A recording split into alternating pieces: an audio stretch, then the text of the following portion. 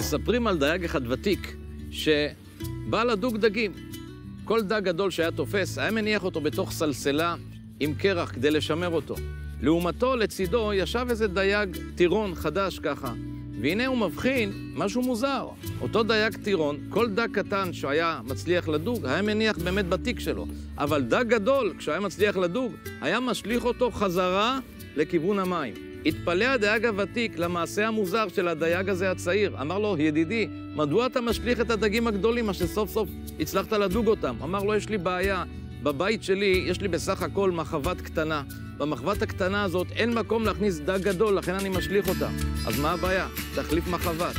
ידידיי היקרים, תדעו לכם, הקדוש ברוך הוא לפעמים ממציא לנו בחיי היום-יום דגים גדולים, ענקיים, שמנים, ואנחנו לא מאמינים ביכולות שלנו להצליח לקחת את הדגים הללו ולהשתמש בהם. כמה פעמים אדם מזדמן לידו איזה תפקיד גדול בפרנסה, כמה פעמים אדם מזדמן לידו אולי איזה שידוך טוב עם בחורה, כמה פעמים הקדוש ברוך הוא מזמן לנו כל מיני הזדמנויות להצליח, ואנחנו לצערנו אומרים, אנחנו לא מסוגלים, אין לנו יכולות, אין כזה דבר. אם בורא עולם מזמן לנו דג גדול, סימן שיש לנו גם מחבת גדולה.